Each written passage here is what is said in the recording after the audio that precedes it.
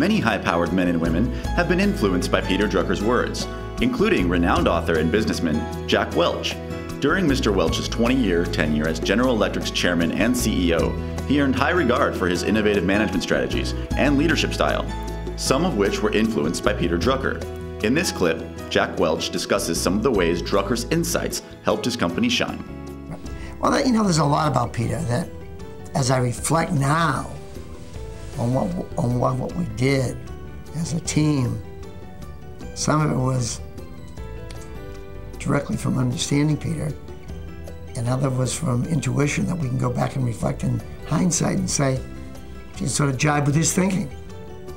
There's been, in my mind, no management thinker uh, like Peter in our time frame anyway.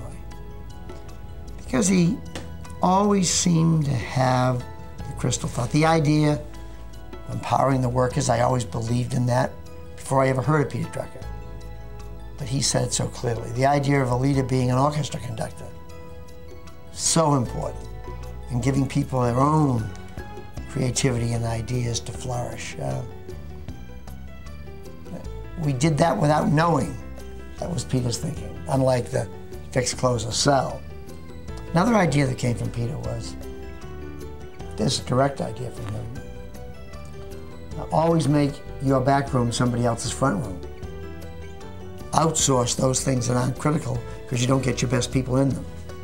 Like a number of areas where, where they weren't that important to the people and the people never felt critical. Give those to companies that that's their business. Uh, very, very important. It gives people a new sense of dignity.